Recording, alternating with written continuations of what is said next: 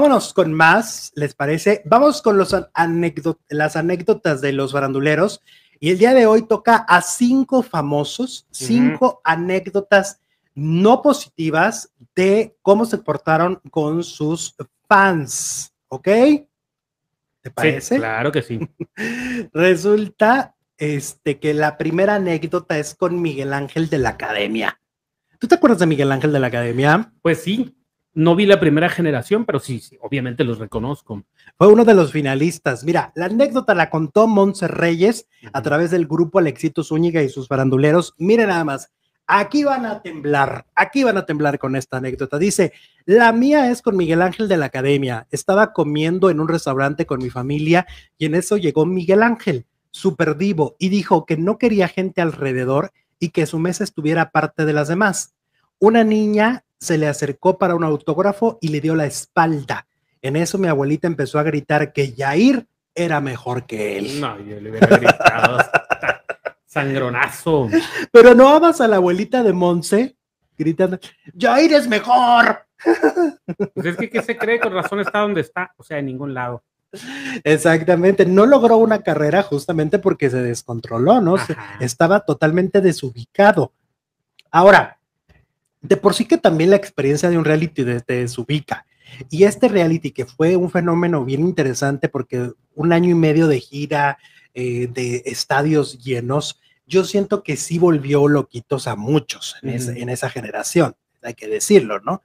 Y, y, a Miguel Ángel pues le pasó, decían que su premio se lo gastó en una camioneta blindada porque, porque no quería que nadie se acercara a él, ¿no? O sea, aquí, aquí lo estamos viendo. Entonces, y luego para mantenerla, la gasolina, el seguro. Y aparte esas camionetas duran menos por lo pesadas, ¿no?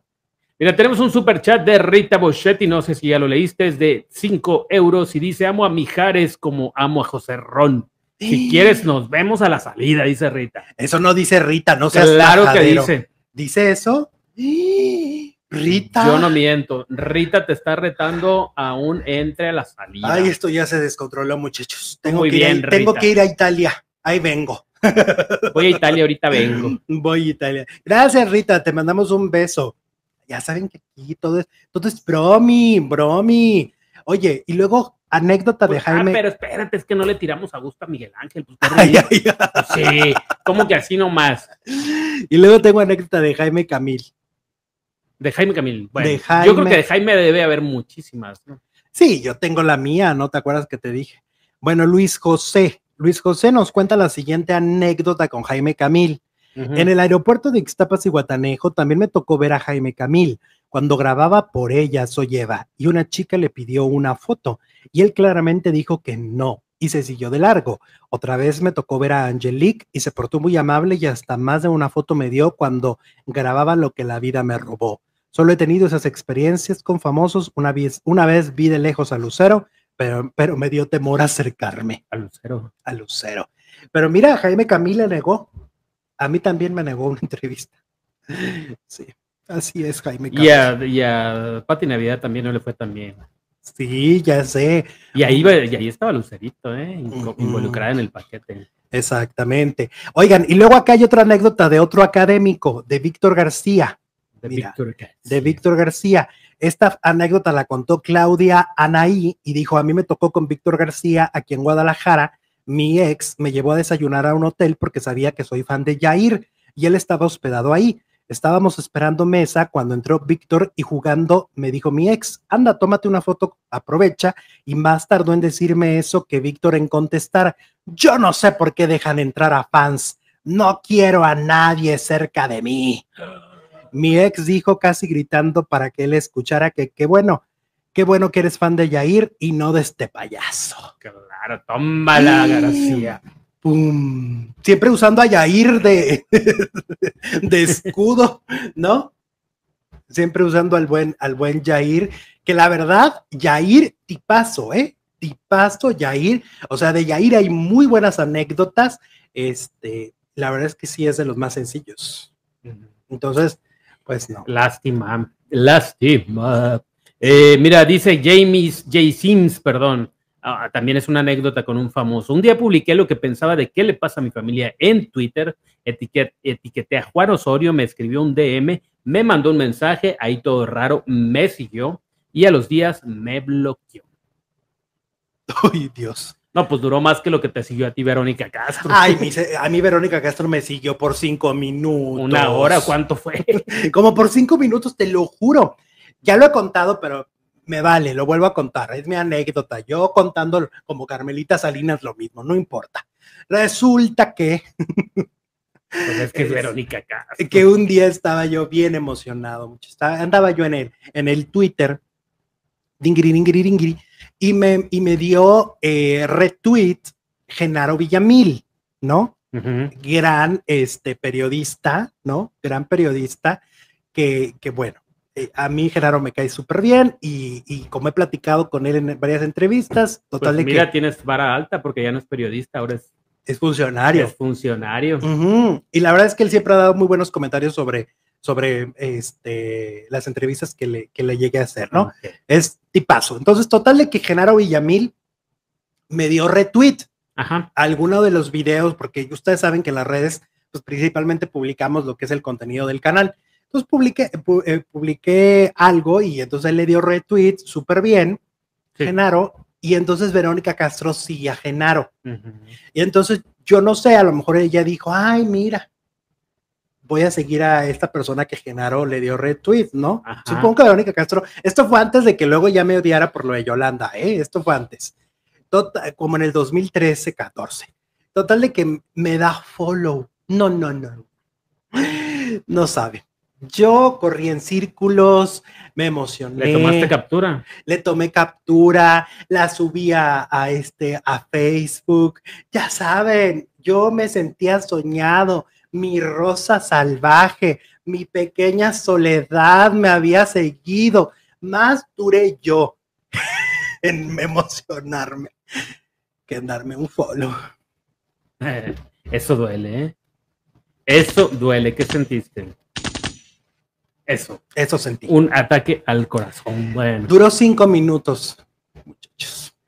Dice, bueno, las, las Gusana González, no, es Susana González. Susana, Susana. Se portó sangrona conmigo y por eso desde entonces me cae mal.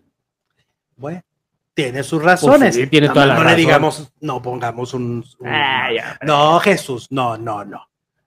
También la canción de usted se me llevó la vida es para un papá, dice Piu Ah, mira, muy bien. La canción de Te sigo amando fue para una pareja. Sácanos de la duda, Alex. Esa sí, no te la, esa sí te la debo, ¿eh? No lo sé.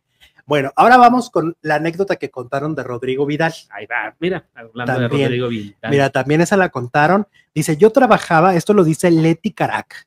Dice, yo trabajaba en una compañía celular y me tocaron muchos, muchos sangrones. Muy tocada. Pero uno de los peores fue Rodrigo Vidal. Súper grosero con todos al pagar, pasó con mi compañera y le aventó el sobre con el estado de cuenta. Mi compañera le pidió que le entregara solo el estado de cuenta y él dijo, no puedo, eh, no puedo, soy invadido, inválido, sería invadido y no tengo manos, así que sácalo tú. Ay Dios, qué majadero. Oye, es que son bien sangrones, pero aparte son básicos para... Déspotas. Déspotas. Mira, yo me acuerdo en una, en, un, en una nota muy, que se hizo muy mediática del gordo y la flaca, que entrevistaron a Juan Gabriel, bueno, quisieron entrevistar a Juan Gabriel en la calle, iba llegando al hotel, no me acuerdo. Entonces, Juan Gabriel pues, no quería dar entrevistas, pero no era tan burdo como estos no, no, seres. Entonces, ¿qué hacía? Se, enreda, se enredaba la bufanda en la boca y decía, estoy malito, no puedo hablar. No puedo dar entrevistas, estoy malito. Y, quedaba como un rey. Claro. Y, y no daba la entrevista. Pues Pero era, era un genio, era de las pues relaciones públicas. maravilloso, maravilloso. Y cuando dijo, no tengo WhatsApp, no, tengo, Twitter, no tengo nada. No, pero cuando dijo lo que se ve no se pregunta, papacito. No, no, es que Juan era lo máximo. ¿Estás de pues acuerdo? ¿Estás de acuerdo? Pues hay niveles, ¿no? Pero espérate que Leti agregó. De lo de Rodrigo Vidal hasta ahí llegamos. Pero dijo, también iba mucho uno que salía en puro loco en TV Azteca y hacía unos escándalos terribles y se tiraba al suelo como un niño chiquito. ¿Quién sería? Héctor Suárez. No, él no salía en puro loco. Ah, era qué cosa de locos, ¿cómo? No. Bueno, era otra. Ajá. Entonces, ¿quién sería? Bueno, y luego hay otra anécdota, pero de Ricky Muñoz, el vocalista de Intocable. Esta la, también la contó eh, Churpias Rolly, así se pronuncia, ¿verdad? Pues. Bueno, dice Ricky Muñoz, vocalista de Intocable, es un hígado. Yo vivo en Texas y además de muy buena fuente, que aparte es muy mal compañero con los grupos que alternan con él, no deja espacio a los demás poniendo sus instrumentos hasta enfrente del escenario y no dejando espacio para que nadie más se luzca. El señor solo llega y canta, pero jamás interactúa con el público. De vez en cuando a mitad del show sonríe. Yo no he vuelto a sus bailes y no volveré. O sea que cuando responde también muy grosero en Twitter, es porque es así. Ricky de Intocable. Ok. Bueno, pues ahí están. Esos son los anecdotarios de los, de los faranduleros, son anécdotas que ellos nos están compartiendo